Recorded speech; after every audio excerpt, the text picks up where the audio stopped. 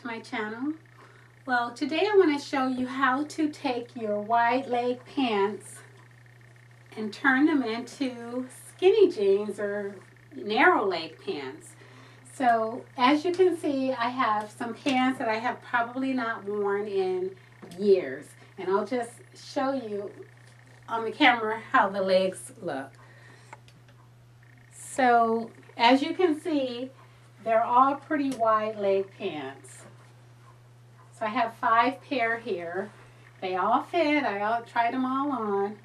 And they don't work for me anymore because I don't work in an environment, well, I'm retired. Actually, I don't work at all. So I don't work in an environment where I'm going to be wearing boots. And these are mostly pants that you will wear over your boots.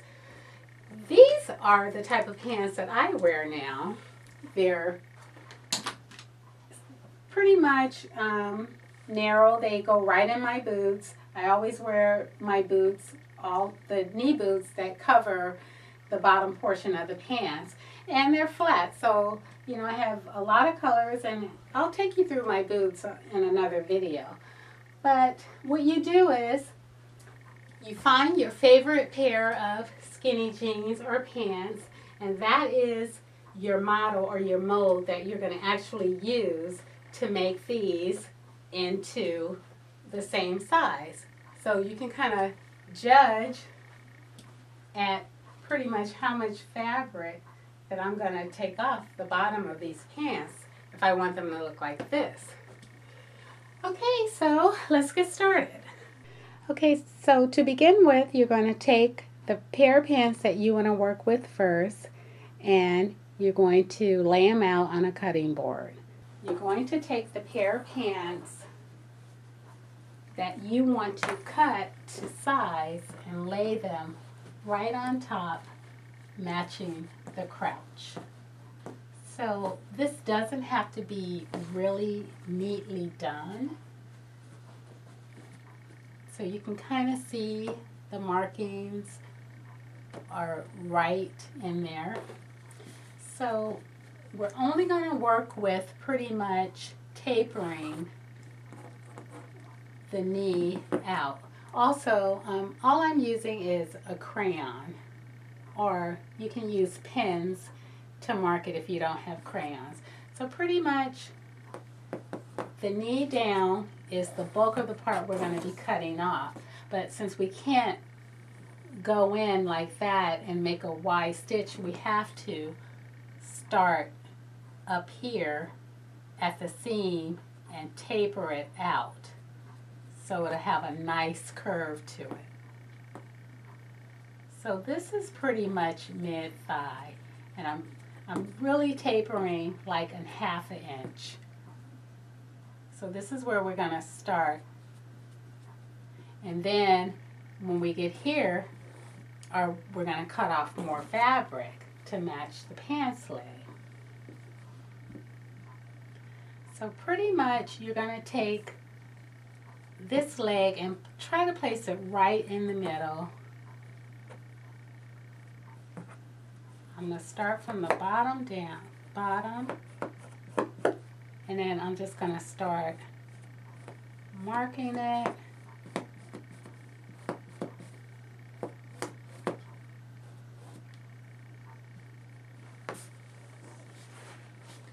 So pretty much, actually, since it's tapered in a little more, I'm going to mark it. I'm going to ignore that one. And I'm going to start there. And then you just mark around it.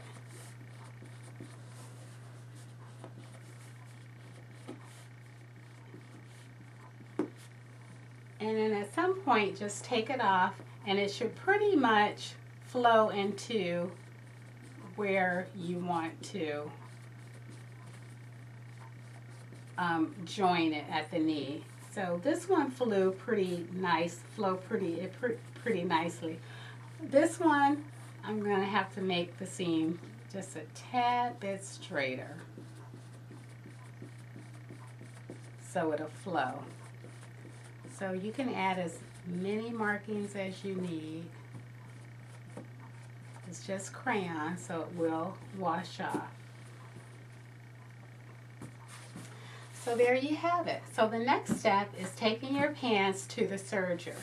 Now, since I know that I'm only going to be wearing these tucked in, I'm not going to take this hem out and sew it all the way to the hem and then fold the hem back up. This is too much work because nobody's going to ever see the bottom of my pants because they're going to be tucked in my boots. Okay, so let's go to the serger and I'll show you how to Remove all that excess fabric using your serger. Okay, so this is a serger. It's by Singer. I've had it for about 30 years. I kid you not.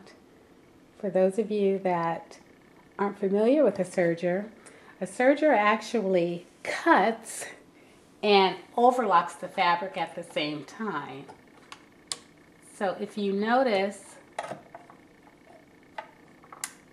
how old it is. it's broken.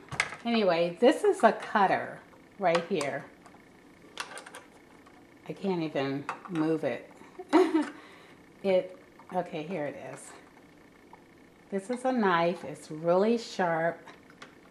It cuts the fabric and overlocks it at the same time. So as you, there is room for four spools of this uh, thread, but I only use three. And you can also use two needles also, but I only use one overlock needle. So you can overlock with two needles and four spools of thread.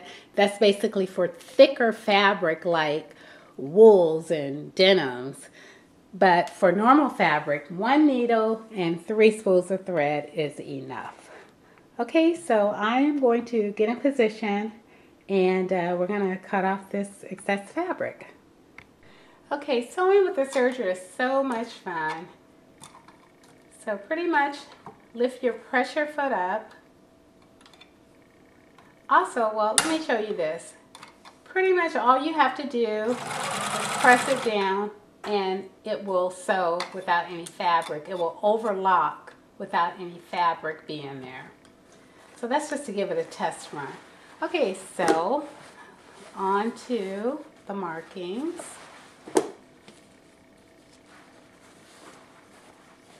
So we have our markings.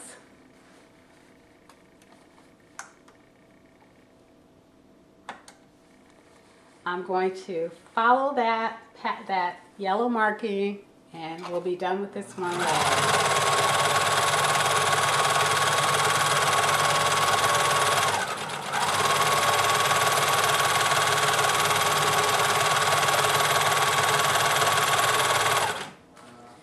Now, as you get close to the end, you kind of want to make sure that you have it even at the bottom. So I'm just going to hold it.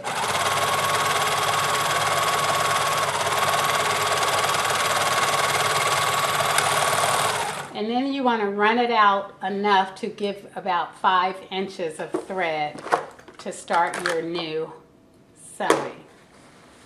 And so this is pretty much what it looks like.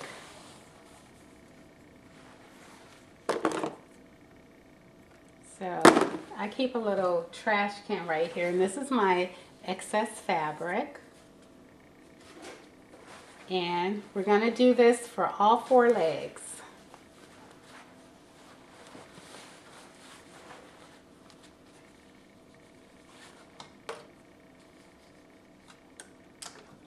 I'm going to do it for all four legs and then I'm going to come back and show you what it looks like afterwards.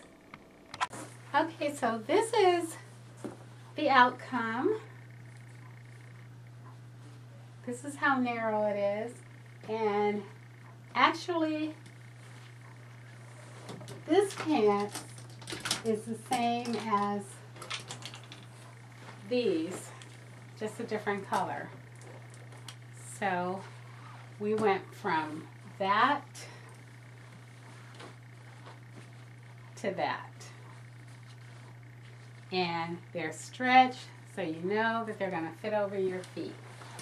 So after you finished, um, what you're going to do is take your iron and you're going to flatten out that seam. So that's why we have our little iron board here.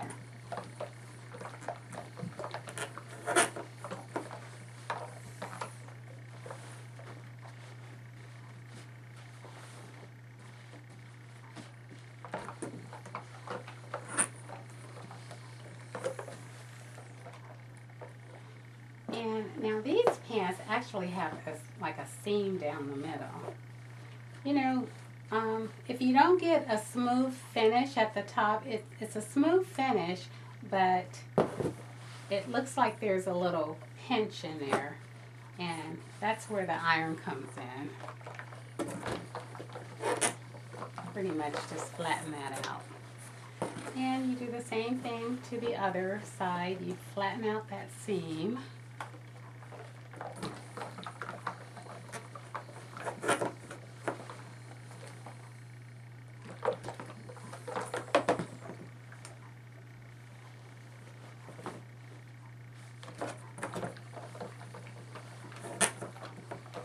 So once you have your seam flattened out, they're all ready to wear.